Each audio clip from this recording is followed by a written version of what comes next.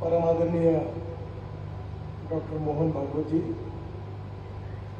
महाराष्ट्र के मुख्यमंत्री आदरणीय एकनाथ शिंदे जी महाराष्ट्र के उप मुख्यमंत्री देवेंद्र जी हमारे प्रदेश के अध्यक्ष चंद्रशेखर जी संस्था के अध्यक्ष मेरे मित्र एडवोकेट सुधीर मनोहर जी उपाध्यक्ष अजय संचेती जी इस भव्य वास्तु निर्माण करने में जिन्होंने अपने जीवन का समय समर्पित किया है, ऐसे शैलेश जोगेकर जी, कोषाध्यक्ष आनंद औरंगाबादकर, विशेष रूप से शुरुआत से लेकर आज तक इस हॉस्पिटल में निष्प्रू व निस्वार्थ भाव से जिन्होंने सेवा दी है वो डॉक्टर आनंद पाठक, श्री ललित टेकचंदानी जी और उपस्थित सभी भाई और बहन।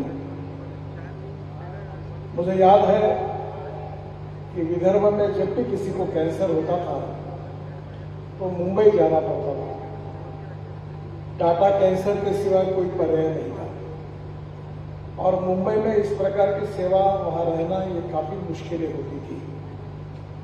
पर मुंबई में जो टाटा कैंसर का जो स्टैंडर्ड था, जो इक्विपमेंट थे, जो डॉक्टर थे उसी स्तर का ये नेशनल कैंसर इंस्टीट्यूट तैयार हुआ है।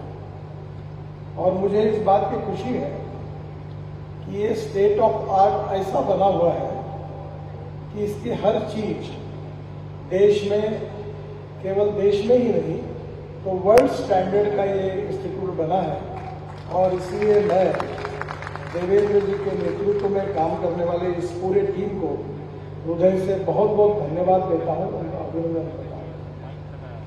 मुझे पता है कि देवेंद्र जी का और शैलेश जी का इस कैंसर इंस्टीट्यूट के साथ भावनात्मक संबंध है।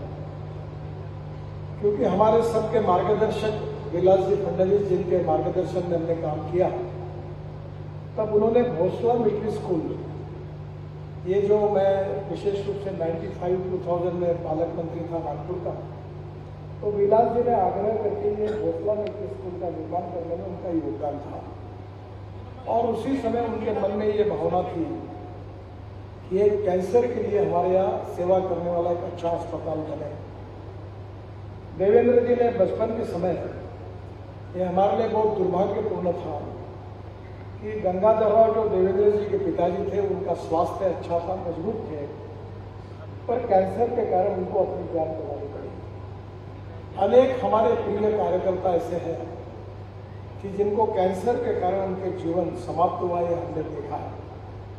शैलेश जी के भी जीवन में उनकी पत्नी को भी इसी प्रकार की बीमारी आई और दोनों ने भावनात्मक रूप से ये देखा था कि कैंसर होने के बाद परिवार पर क्या प्रकार की बीतती है।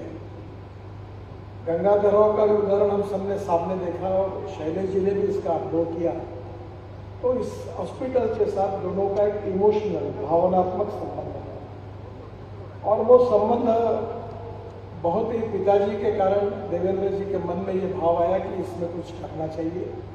और शैलेश जी के भी मन में भावना थी और विलास जी का मार्गदर्शन। इसके बाद में ये बहुत बड़ी इंस्टीट्यूशन तैयार हुई है।